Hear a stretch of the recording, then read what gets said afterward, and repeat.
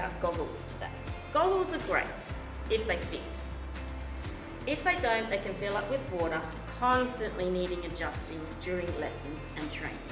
So here's our tips on how to find the best pair of goggles. Number one, if you're able to try on a pair at the store, which some places will let you do, you can try on goggles without the strap. If the goggles can be pressed onto the face and suction without the strap around the head, then they're a good fit. More expensive doesn't always mean better. It's about fitting the goggles to the face, and everyone's face is different. Try to find a pair of goggles that feels comfortable for you, rather than just going to the most expensive pair. You can get some fun goggles these days, in all sorts of animal shapes, bling and glitter.